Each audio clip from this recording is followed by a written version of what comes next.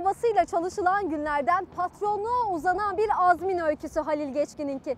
Köroğlu Mermer'in yönetim kurulu başkanı henüz 14 yaşında geldiği Marmara Adası'nda bugün neredeyse yarım asrı deviriyor. Firmanın ocağından çıkarılan Marmara Beyazı ve Ekvator hem iç hem dış pazarda talep görüyor. Çevreci üretim anlayışını benimseyen işletme mermer atığını dahi ihraç kalemine döndürmeyi başarıyor. Dişinden tırnağından artırıp gurbet elde biriktirilen para aile şirketinin temelini teşkil ediyor. Köroğlu Kardeşler grubun yönetim kurulu başkanı Halil Geçkin, Kastamonu'dan göçüp Marmara Adası'na ilk kez bundan tam 48 yıl evvel geliyor. Zorluklar karşısında yılmıyor, çalışıyor, didiniyor, azmediyor. 1968'de ilk Marmara Adası'na geldim çırak olarak. 16 yıl başka sektörlerde böyle mermercilik, taşeron olarak çalıştım. Ondan sonra kendi kardeşlerimizle beraber ufak bir makineyle kendi işimize başladık. Önce Köroğlu Kardeşler firması, 5-6 sene sonra 3A Kardeşler Mermer firmasını kurduk. Devam ederken şimdi saraylar taşımacılık gemi sistemine geçtik. Öyle ufak böyle bu Erdek'ten geldiğimiz gemiler, o hatta çalışan gemilerde de bir gemimiz var öyle. Bir de 4-5 sene sonra bir de Saraylar Akaryakıt istasyonda sahibi olduk işte Cenab-ı Allah tarafına böyle. Tabii çalışma azmi bizde çok. Yani şimdi sabah namazı kılındı, akşam yatsıya kadar böyle çoluk çocuğumuz yani öyle. Hani durma yok. Şirketler birbiri ardına kurulurken Marmara Adası'ndaki ocaktan çıkarılan Marmara Beyazı hem iç pazarda hem de dış pazarda alıcı buluyor. En çok ihracat gerçekleştirilen ülkelerden Suriye'de yaşanan savaş işleri zora sokuyor. Halil Geçkin uzun yıllar ticaret yaptığı dostlarının Türkiye'de ortak fabrika açma talebine olumlu yanıt veriyor. Suriyeli müşterilerimiz, 15 yıldan beri çalıştığımız müşterilerimiz Suriye Savaşı'nda tabii etkilenince gelince beni aradılar. Sizle ortak iş yapalım. İstanbul'a mermer deposu yapalım. Ben de geleyim buyurun. Geldiler buraya onları davet ettim. Burada dedim ki bizim yerlerimiz var daha yakın, kontrolör daha iyi. Hani hem Adana mermeri burada hem mermer fabrikası burada işlenirse daha iyi olur bunlara. Tamam kabul etti. Böyle bir firma kurma yani şeyine girdik. Suriyeli bana güvendi. Ben Suriyeliye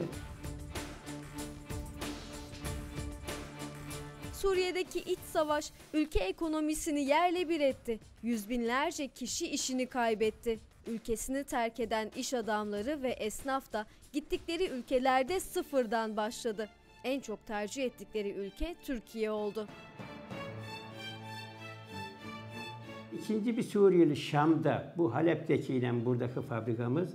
Şam'daki de dedi ki, seninle de bir fabrika yapalım. Yani şimdi tabii o da buradaki Halep'tekiyle fabrika kurunca o da meraklandı. Doğru. Yani şimdi ben de dedim ki, iki fabrika yan yana olmaz demin bahsettiğim gibi. Senden de ayrı bir yer çıkarsa sana da hayır demeriz, beraber iş yaparız. Şimdi bir sene sonra bir şirket Marmara Adası'nda ocakları var, Bilecik'te ocakları var, satılıyor. Gel buyurun Hüsam Bey, sen de benden ortak almak istiyordun. Buyurun kabul edersen gidelim dolaşalım bakalım. Tamam ne demek dedi. O da öyle, o şirketi öyle hani komple devraldı. Yani şimdi Allah'a şükür şu güne kadarı 6 şirketimiz full olarak devam ediyor. Daha çocuk denecek yaşta çalışmaya başlayan Halil Geçkin, aradan geçen yıllarda üretme, iş yapma, çalışma azmini hiç yitirmiyor. 14 yaşımda geldim buraya. Şunu inen olarak söyleyen aynı 14 yaşımdaki gibi iş hevesi var. Yani şimdi bak şimdi 14 yaşında gelen Ya sen 60 küsür yaşındasın. Hani böyle yani buraya fabrika, oraya e şimdi şöyle ben işçilikten gelmeyim. Mesela şimdi zamanında işçilikten gelme. Bir arkadaşıma gel burada iş var demek ne mutlu. Çevresindeki birçok kişinin 60'ından sonra neden hala yatırım hevesindesin diye kendisine şaşırdığını gülerek anlatıyor Halil Geçkin. Benim bu ülkeye borcum var diyor. İstihdam rakamını artırmayı hedefliyor. Şu anda 250 kişi yani. Tabii ki bunun yanında e, beni de böyle bu işlere teşvik eden devletimiz de bak şimdi e, teşvik ediyor. Çalış. Krediler ucuz. Doğru kredi aldım bankalardan. Teşvik belgesi, makineleri teşvikle bana kolaylık sağlıyor. E, yatırım yap. Yani işçi çalıştı. Tabii ki ben yatırım yapacağım. Bu fabrikadan ihracat yaptığım zaman yarın bir gün sigorta yani şimdi yurt dışından gelen döviz e, devletimiz de kazanacak. Bizim devlete katkımız var. Devletin de bize sağ olsun. Önümüzü açıyor işte. Böyle. Firmanın ocağı da fabrikaları da Marmara Adası'nda Saraylar beldesinde bulunuyor. ocaklarımızda mermeri çıkarıp fabrikalarımızda hani yurt dışına satılan blokları ayrı, satılmayacakları fabrikalarımızda işleyip bunun yanında o karşıt tesis dediğimiz orada da atık malzeme hani molozları değerlendirip onları da oraya yani daha kötü hani siyah olanları da İstanbul deniz dolgusunda kullanıyoruz. Sadece atık olarak toprak kalıyor yani toprağa kadar değerlendiriyoruz. Birinci kalite bloklar Yunanistan başta olmak üzere Çin, Suriye gibi ülkelere saraylarda bulunan limanda yüklenip ihraç ediliyor. Ocaklarımızda kesiliye birinci sınıf blok ayrı sistemde Yunanistan'a satılabilecek. İkinci sınıf blokları fabrikalarımızda işliyoruz. Este makinelerimiz var, batıraklarımız var. Cilalanıya, işleniye buradan İstanbul'a kamyonlarla depolarına müşterinin teslim oluyor. Yönetim Kurulu Başkanı o yıllara geri dönüp baktığında kendi bile hayret ediyor. İşe ilk başladıkları dönemde mermer bloklarının hangi şartlarda çıkarıldığını bakın nasıl anlatıyor. Benim yani ilk çalıştığım dönemde 7 kişi yani 7 bir ekip 7 kişi 12 ay boyunca 350 metre blok çıkardık yani sadece. Tabii ki kompresörle, külükle yonma. Yani o zaman bloğu aynı böyle sabun kalıbı gibi külükle yonma. Arabalara kirkoyla, pehlivan kirkoylarıyla yükleme. Yani şimdik. Böyle vinç, teşkilat, kepçe hiç yok. El arabasıyla harfiyat. Şimdi geri dönüyen yani o el arabasıyla harfiyat. Acaba biz bunu nasıl yaptık? Yani şimdi tabii o zaman ellerimiz nasırlanmış vaziyette. O molozları arabaya mesela şimdi el arabasına kaldırıyorsun gidiyorsun tepe başına harfiyatı dökerken e, o da oradan takılıyor. Arabayla beraber gidiyor. Tekrar arabayı oradan alıp yani çok zorluklar. O günlerden bugüne şimdi Allah'a şükür makine gücü var. Yani hiç zorluk yok. Tel kesimleri var. Teknolojinin gelişmesiyle bir bloğun bir haftada kesildiği günlerden bir günde 3 bloğun kesildiği günlere ulaşılıyor. Bir blok bir haftada kesildiği yerde bir katırakta bir bloğu 24 saatte kesiyor. Yani 3'e 3 bloğu 24 saatte. Bu da gelişmiş bir makine altyapısını gerekli kılıyor. Halil Geçkin bugün fabrikalarında da ocakta da en son teknolojiyi kullanıyor.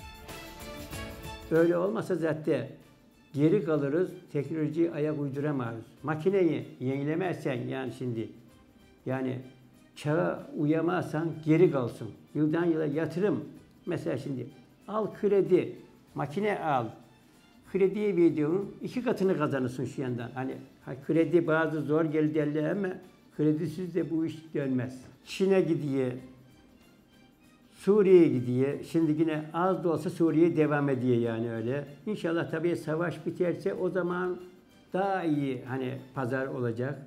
Yunanistan'a gidiyor. Yani şimdi böyle çoğu ülkelere gidiyor. Biz burada kesiyoruz. Fabrikalarımızda İstanbul piyasalarına veriyoruz. Müşteriler alıyabiliyor. Biz onlara metreyle kesiyoruz. Kendimiz de kesiyoruz. Orada da fabrika estelerimiz var. Fabrikalardan biri sadece cami, hamam, restorasyon projelerine odaklanıyor. Türkiye genelinde inşa edilen camilerin %80'inde firmanın mermerleri kullanılıyor.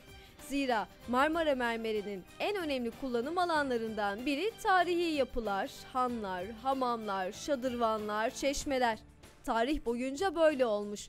Bizans ve Osmanlı döneminde inşa edilen yapılarda hep Marmara mermeri kullanılmış. Bu gelenek bugün de bozulmuyor. Belki de yılda 10-15 cami yani mermerini biz buradan temin ediyoruz. Yani şimdi Ankara'da bir cami yapılıyor, mermerini biz temin ediyoruz. Böyle kalın kesliye mesela 15-15, 20'ye 20 ebatlara göre yani mermerini de biz buradan kesip ebatlayıp buradan tırlarımızla Ankara'ya teslim ediyoruz. Hepsine yetiyoruz. Neden?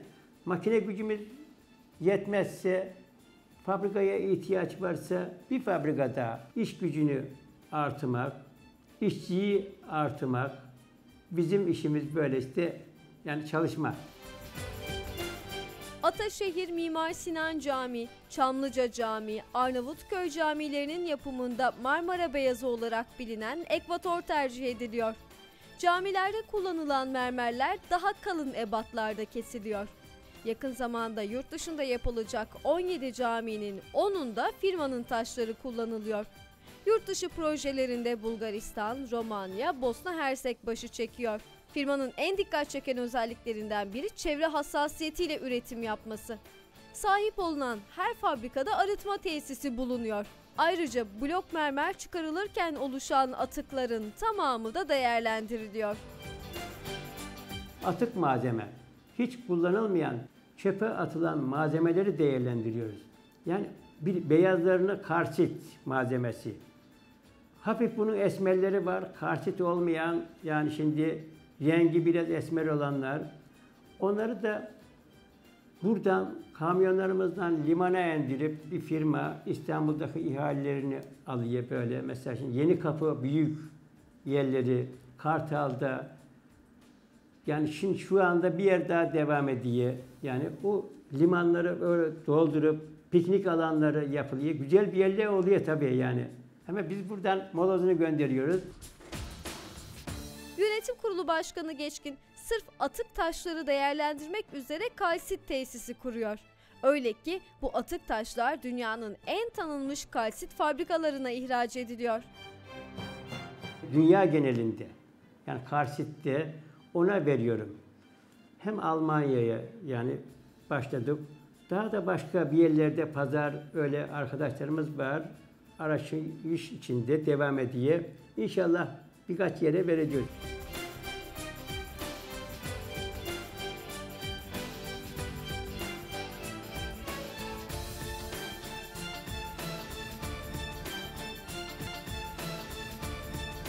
Enerji sanayiciler için en önemli girdi maliyetleri arasında yer alıyor. Firma çevre hassasiyetini enerjide de göstermek istiyor. Rüzgar türbünü yatırımıyla fabrikaların ihtiyacını yenilenebilir enerjiden karşılamak Halil Geçkin'in hedefleri arasında yer alıyor. Rüzgar türbünü düşünürüz. Neden? Daha iyi. Ben normalde şimdi firmalarımızda 160 milyar hani elektrik parası ödeyen. Belki öyle 3-5 tane kurulabilse geri bize dönüşümü olur. Niye olmasın? Marmara Adası'nın tarihi antik çağa kadar dayanıyor. Günümüzde Roma, Bizans ve Osmanlı dönemi tarihi eserleri adada kısmen mevcut. Mermercilik bu adada binlerce yıllık tarihten gücünü alıyor. Türkiye'nin ilk mermer fabrikası da yine Marmara Adası'nda bulunuyor. Burada Romalıların yani çok büyük çalışması var. Romalıların bu belki de Yeliköy'ü görmüşüzdür yolun kenarlarında ince mıcır olan yerler Romalıların çalışmaları. Hani el gücüyle. Daha evvel aynı bizim çalışmalarımız. Yani biz de Roma'dan sonra demek ki biz de öyle el gücüyle, kulükle, yöne yöne başlayınca şimdiki en büyük harfiyatlar bizim bu kepçeler çıkalı büyük harfiyat. Hani 1500 yıldan beri buranın mermerinin değeri var. Ekvator ve beyaz Marmara Adası'nın karakteristiğini yansıtıyor. Marmara mermeri, beyaz mermer var, ekvator var. Yani iki çeşit mermer çıkıyor burada. Yani şimdi ekvator olan pijama çizgili olan belki hamamlarda, yeni hamamlarda belki görmüşüzdür. Öyle o da çok iyi pazarı var. Yurt dışına da pazarı oluyor. Marmara'ya girişte gördüğünüz limanda bir bina mermerden kaplanıyor.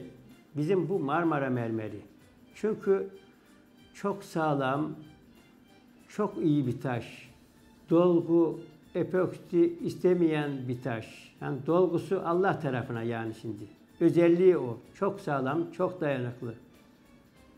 Onun için daha iyi tercih ediliyor. Hiç biz üretim yapıyoruz. Taşımız kalmıyor yani şimdi. Şimdi fabrikamızda belki de 20-30 kişi sipariş sırada. Yönetim Kurulu Başkanı Halil Geçkin bölgede yatırımlara devam edeceğinin altını çiziyor. Borçlarımız bitiyor zaman yani bizi durduramazlar. Bizim hedeflerimiz fabrikamız yetmezse bir fabrikada dediğimiz gibi bu rüzgar türbinleri çok önemli yani şimdi. Hem mesela devlet desteği onda da var. Her fabrikalarımızda olduğu gibi orada da devletimiz destekliyor bizi. Yapın, üretin, destek bizden. E, daha hani durulur mu? Durulmaz. Maden sanayi yarattığı katma değerle Türk ekonomisi için vazgeçilmeyecek kadar önemli bir iş kolu. Bu yapı içinde gerek makine yatırımları gerekse üretim koşullarıyla ilgili bilincin artması daha çevreci tesislerin inşa edilmesini sağlıyor. her fabrikamızda arıtma tesisleri var zaten hani. Karşı tesisimde bile arıtma tesisi, gittiğimiz her fabrikada arıtma tesisi. Neden? Çevreyi de kirletmiyoruz zaten. Yönetim Kurulu Başkanı Halil Geçkin sözlerinin sonunda yatırım için kendilerini teşvik eden herkese, tüm çözüm ortaklarına ama en çok da devlete teşekkürü borç biliyor. Köroğlu Kardeşler Mermer, Üçer Kardeşler Mermer firmalarımız adına tabii en büyük teşekkür edeceğimiz devletimiz. Yani bize bu güveni, bu çalışma huzurunu sağlayan yani şimdi e, bu desteği veren devletimize çok teşekkür ederiz.